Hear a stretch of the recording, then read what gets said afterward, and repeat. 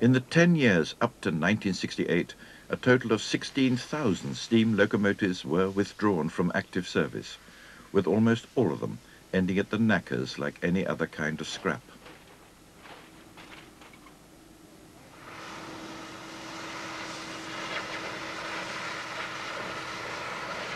A very few went to museums or enthusiasts, but it was a great time for scrap.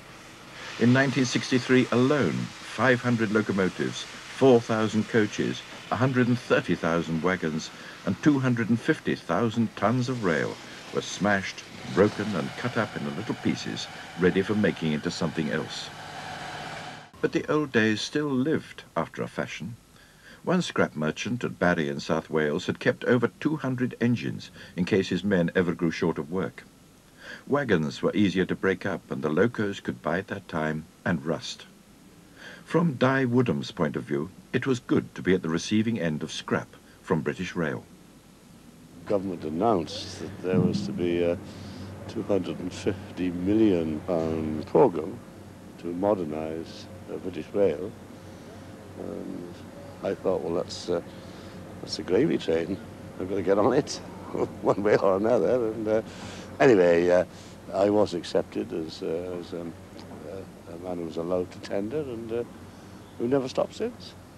As far as railway was concerned, rolling stock, engines, railway lines, so forth. And we have been breaking up British Railways now for nearly 35 years.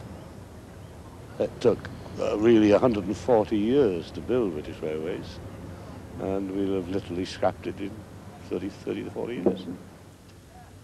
Word got around about Dai Woodham's scrapyard, and his 200 engines became a place of pilgrimage, not so much for youngsters who see everywhere as potential playground, but for adults who, in the end, bought every single one, whatever its condition.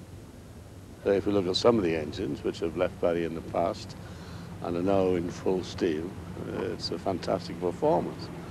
And this particular example, uh, which uh, is pretty rough, but uh, I forecast that, that when the preservationists have finished with it, she'll be like the day she was built.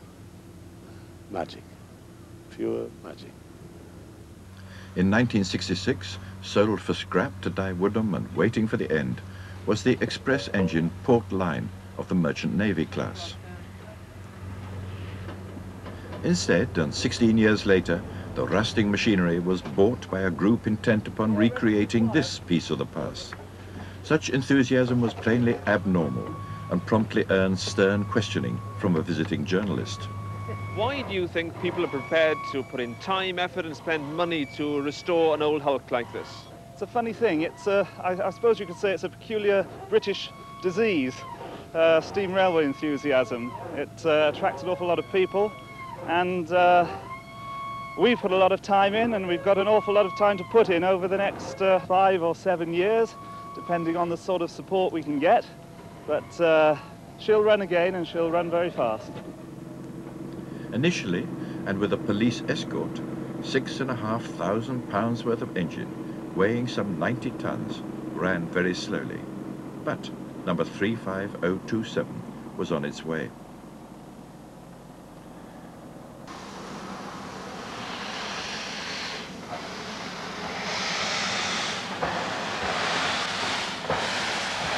It's been such a transformation from its original state that uh, you look forward to be able to do another one because you've been through it all. You know how to get around the jobs. You know how you know the problems you're going to encounter. And you know the people to talk to about it. You know the places to get the equipment. The second one has always got to be the easier one, really. And uh, I mean, I look forward to getting on with it.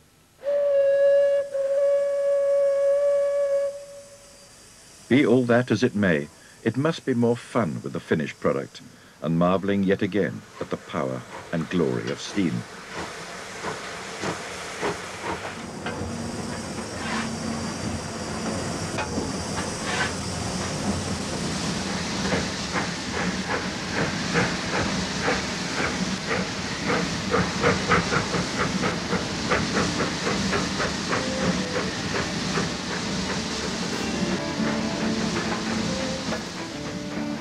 And remembering that this huge machine had just been rusting away as scrap.